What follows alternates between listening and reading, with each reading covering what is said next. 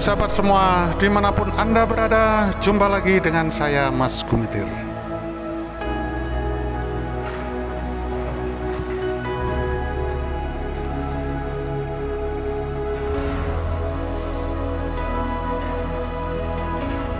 Oke sahabat semua dan hari menjelang siang ini saya ada di jurang dekat dengan jembatan gantung Geladak Perak di Lumajang, Jawa Timur ya. Dan kita posisi ada di bawah jurang. Kebetulan ini adalah jalur lahar Semeru di mana di sini sekarang kondisinya uh, cukup kering karena memang pada hari ini kondisi cuaca sangat cerah ya. Apalagi ini kayaknya mendekati kemarau sehingga langit terlihat biru dan aktivitas yang ada di sini setiap hari selalu ada khususnya untuk uh, para penambang pasir yang mengambil pasir untuk dijual ke luar daerah.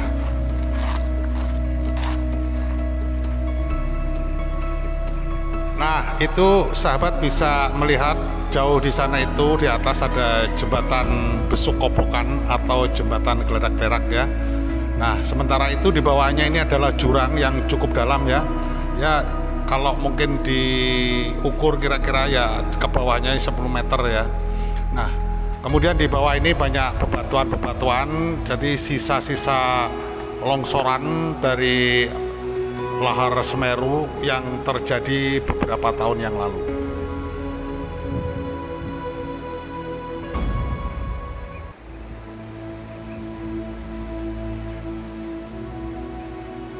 Nah, sahabat, dan kita ada di posisi pinggir jurang ya.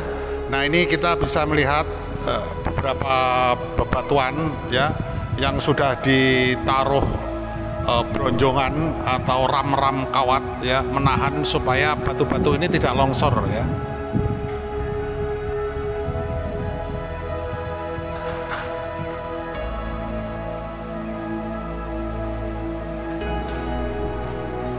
Dan peronjongan batu-batu ini fungsinya untuk menahan ketika terjadi lahar Semeru yang datang secara tiba-tiba yang tidak mengikis bagian pinggir dari jurang ini.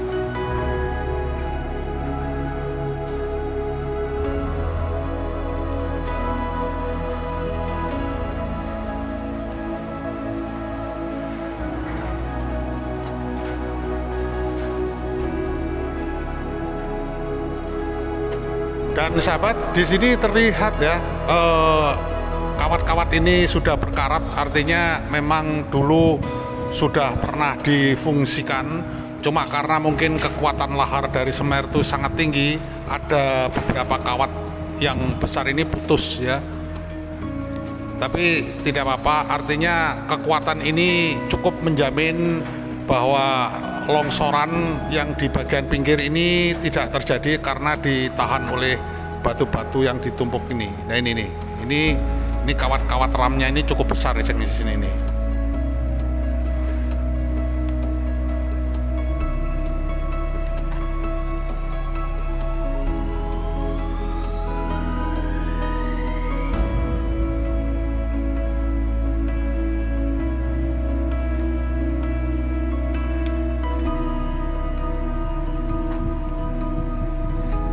Dan ini memang sengaja dipasang ya sahabat ya untuk menahan adanya uh, gempuran dari lahar Semeru ya.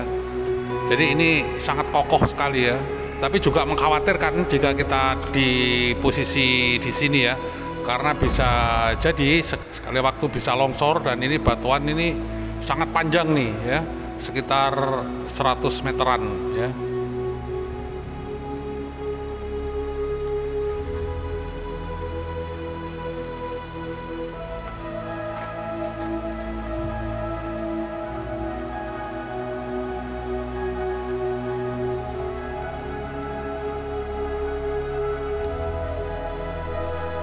Nah, sahabat, se sementara itu yang di daerah jalur aliran lahar ini memang banyak mengandung batuan sedimen, di mana batuan sedimen ini merupakan batuan yang ada di atas permukaan bumi, begitu ya. Nah, ini contohnya banyak ada batu pasir, ada batu gamping, batu lempung dan sebagainya. Dan ini yang ada di daratan ini lereng Gunung Semeru, jalur aliran lahar ini banyak dijumpai batu pasir.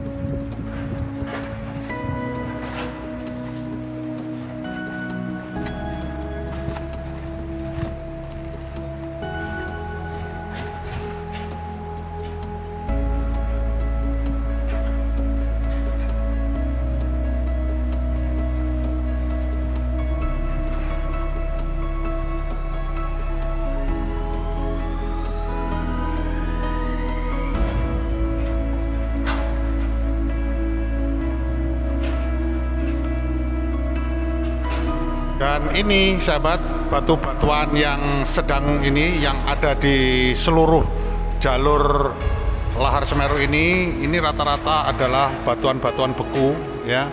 Ini hasil dari muntahan dari Gunung Semeru.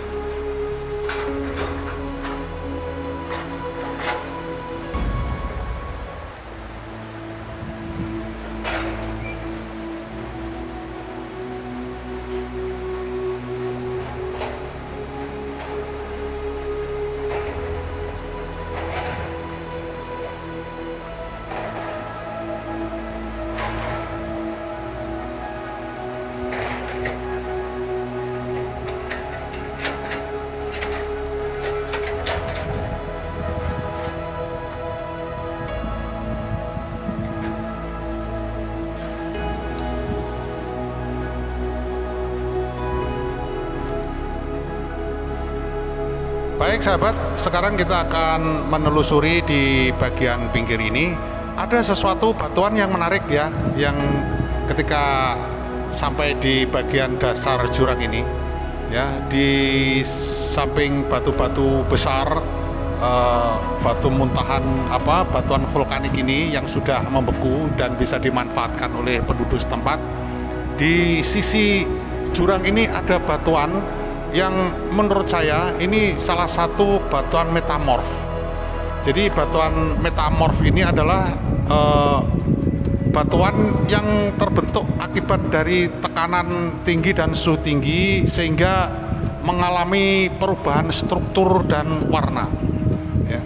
Jadi kemungkinan besar ini adalah salah satu contoh dari model batuan manmer atau batuan lakolit yang banyak di kita jumpai ya bisa dipakai. Nah ini kita bisa melihat sahabat seperti ini dan ini sebetulnya kalau memang di mau digali ini sangat besar nih ya kalau dijual.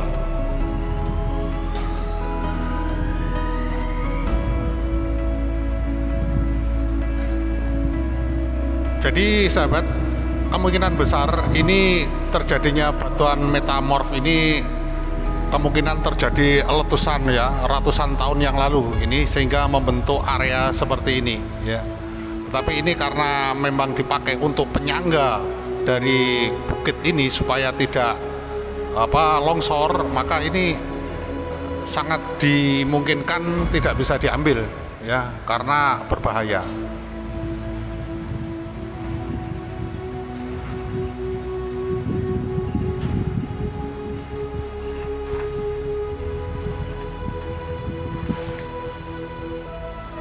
Baik sahabat semua di mana pun Anda berada demikian tadi informasinya. Terima kasih sahabat sudah menyaksikan video ini. Semoga bisa terhibur. Sampai ketemu lagi. Dadah